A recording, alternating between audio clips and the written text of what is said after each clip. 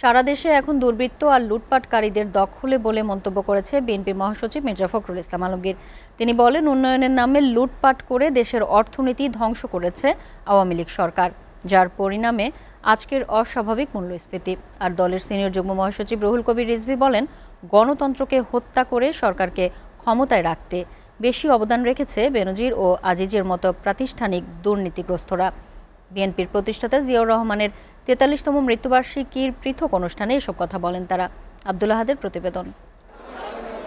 বিএনপির প্রতিষ্ঠাতা সাবেক রাষ্ট্রপতি জিয়াউর রহমানের তেতাল্লিশতম মৃত্যুবার্ষিকী উপলক্ষে তার সমাধিতে শ্রদ্ধা জানান মির্জা ফখরুল ইসলাম আলমগীর সহ দল ও অঙ্গ সংগঠনের নেতাকর্মীরা।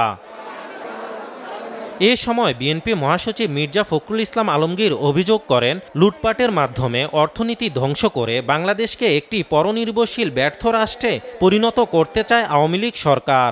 বাংলাদেশ এখন পুরোপুরি দুর্বৃত্তদের কবলে। বাংলাদেশ এখন লুটেরা, মাফিয়াদের কবলে। বাংলাদেশ একদিকে যেমন রাজনৈতিক অধিকার হরণ করছে, তেমনি অন্যদিকে তারা অর্থনীতিকে ধ্বংস করছে এবং তাদের মূল লক্ষ্য হচ্ছে এটাকে পরনির্ভরশীল একটা ব্যর্থ রাষ্ট্রে পরিণত গণতন্ত্র নির্বাসিত করে সরকার দুর্নীতিবাসদের সহায়তায় জোর করে ক্ষমতায় টিকে আছে বলেও দাবি করেন বিএনপি মহাসচিব। আমরা এর বিরুদ্ধে লড়াই করছি ইনশাআল্লাহ আমরা জয়ী হব। পরে রাজধানীর আগারগাঁওয়ে দুস্থদের মাঝে খাবার বিতরণ করেন বিএনপি মহাসচিব। এদিকে সাবেক রাষ্ট্রপতি জিয়াউর রহমানের শাহাদাত বার্ষিকী উপলক্ষে রাজধানীর নয়াপল্টনে দুস্থদের মাঝে খাবার বিতরণ ও ফ্রি মেডিকেল ক্যাম্পের উদ্বোধন করেন দলের সিনিয়র যুগ্ম মহাসচিব অ্যাডভোকেট রুহুল কবির রিজভি। এ সময় জিয়াউর রহমানের বিভিন্ন অবদানের কথা তুলে ধরেন তিনি। সরকারের সমালোচনা করে তিনি বলেন, আওয়ামী লীগ অবাধ ও সুষ্ঠু নির্বাচনকে জাদুঘরে পাঠিয়েছে।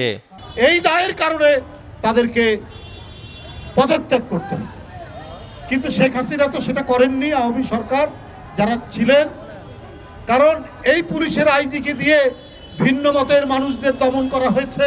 এই বেরিজির সাহেব সেদিন তার পুলিশ সদস্যদের উদ্দেশ্যে বলেছেন, তোমাদের কাছে যে অস্ত্র দেওয়া হয়েছে, এই অস্ত্র দিয়ে কি হাডুডু খুলবে? ওয়ালটন ফ্রিজ কিনে অনেকের মতো আপনিও হয়ে যেতে পারেন মিলেনিয়া সেরা পণ্যের সেরা অফার।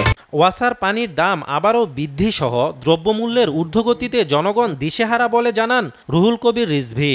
যে জীবনের অপর নাম পানি সেই পানিও যাতে খেতে না পারে সেই পানি যাতে পান করতে না পারে আপনি সেই ব্যবস্থা করে দশ শতাংশ দাম বৃদ্ধি করেছেন। আব্দুল আহাদ এসটিভি ঢাকা।